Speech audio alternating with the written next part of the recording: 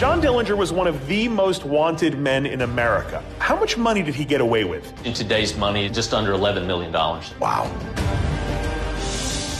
There's actually a good portion of it that was never recovered.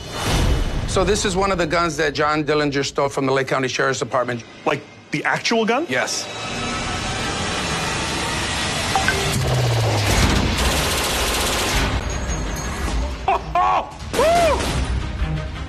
You have an idea where it might be. He decided to go to his family farm. Home is where the heart is. It also might be where the money is. Oh, look at that! Things go bad up here, right? Things go real bad up here. Oh, look at this! Here we go. I'm thinking, is this some kind of evidence crime someone didn't want found? So either on land or in the water. Definitely